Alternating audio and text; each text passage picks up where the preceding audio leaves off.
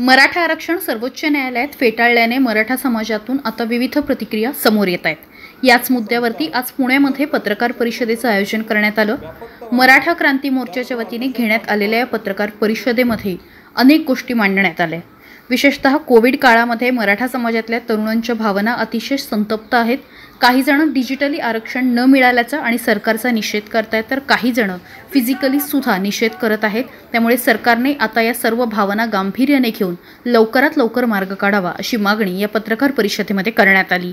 ती सारखी संस्था आहे की तिच्यातनं शिक्षण संशोधनाची व्यापकता वाढवणं त्याचबरोबर अण्णासाहेब पाटील महामंडळाच्यातनं कर्ज योजनेतनं उद्योजक निर्माण करणं त्याचबरोबर विद्यार्थ्यांची वसतिगृह असतील प्लेसमेंटच्या बाबतीतल्या योजना असतील ह्याचबरोबर अल्पभूधारक शेतकरी अत्यल्पभूधारक शेतकरी आणि जे हमाल मजूर माथडी डबेवाले मोलकरी अशा प्रकारचे अंग मेहनती काम करणारे जे डोमेस्टिक वर्कर्स सगळे आहेत ह्यांच्या दृष्टिकोनातनं स्पेशल पॅकेज तयार करून अधिक कुठल्या प्रकारच्या योजना त्यांच्या जीवनमान उंचवण्यासाठी त्यांच्यातल्या कुटुंबातल्या नव्या पिढीचा शैक्षणिक दर्जा उंचवण्यासाठी आणि त्यांच्यामधला सामाजिक आणि शैक्षणिक बॅकवर्डनेस घालून आर्थिक समृद्धता निर्माण करण्यासाठी जे शक्य राज्य शासनाला कोणत्याही न्यायालयीन निर्णयाची आड नाही त्याला गती देणं आवश्यक आहे. त्यामुळं राज्य शासनाला मराठा समाजातल्या एका मोठ्या घटकाला न्याय देता येईल. केंद्राचा जो निधी लागेल ते केंद्राने द्यावा. ह्या पद्धतीने हे दोन प्रश्न सोडवण्याच्या दृष्टिकोनातून आम्ही आज या ठिकाणी मागणी करत आहोत.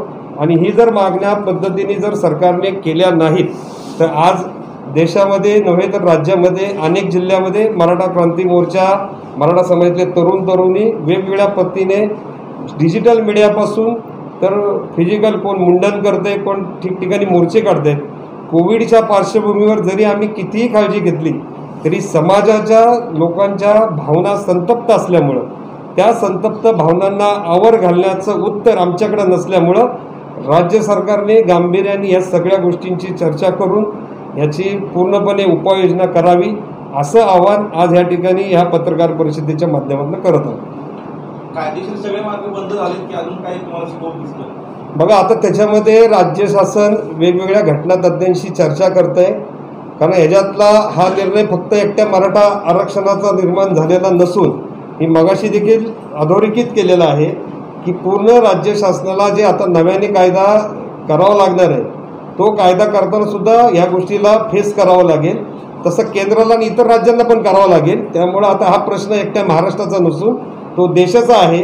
आणि मग जेव्हा देशातल्या जनतेची भावना असते तेव्हा तामिळनाडूमध्ये एक न्यायालयीन निर्णय आला तर तामिळनाडूच्या न्यायालयाने लोकांनी जनतेने आंदोलन केलं उठाव केला.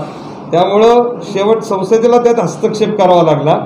आज ह्या परिस्थितीमध्ये जर माननीय न्यायालयाने काही पॅरामीटर्स अधोरेखित केलेले असतील तर त्या पॅरामीटरनुसार जर सगळं समाज मन उद्ध्वस्त होणार असेल तर निश्चितपणे संसदेला याची गांभीर्याने नोंद घ्यावी लागेल आणि तशा प्रकारे आवश्यक असेल तर घटना दुरुस्ती करावी लागेल.